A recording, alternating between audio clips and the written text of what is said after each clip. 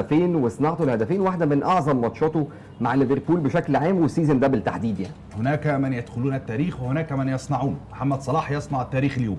129 هدف. لاعب مصري يصل انه يصبح الهداف التاريخي الأسطوري لليفربول. يتجاوز العظام روبي فاولر ستيفن جيرارد مايكل أوين الهدافين التاريخيين في البريمير ليج لليفربول. محمد صلاح يا أيمن النهارده بيواصل تسطير اسمه في آه، بأحرف من ذهب في تاريخ ليفربول للمرة الكتير قوي. ما بقيناش عارفين نعد. الراجل بقى الهداف التاريخي لليفربول في دوري أبطال أوروبا. بقى الهداف التاريخي النهارده لليفربول في ال Premier League.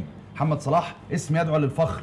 محمد صلاح هو واحد من اللعيبة اللي هيفضل أساميها محفورة في ذاكرة ليفربول آه، أبد الدهر. حقيقي طبعا. ستيفن جيرارد فاولر الأسامي دي بطل الكره من زمان جدا لكن لا زالت في ذاكرة كل مشجعي ليفربول مش بس في إنجلترا حول العالم بيتذكروا هذه الأسماء. محمد صلاح هو اسم كما لقبه جمهور ليفربول الملك المصري. النهارده بيجعلنا كلنا فخورين.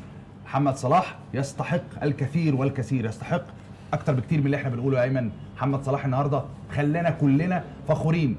هو رفع سقف الطموحات من زمان قوي لكن النهارده الراجل بيكمل بعد ما تجاوز ال 30 عاما. أعتقد إنه محمد صلاح أتمنى في يوم من الأيام إن إحنا يبقى عندنا محمد صلاح تاني وتالت رغم إنه صعب جدا.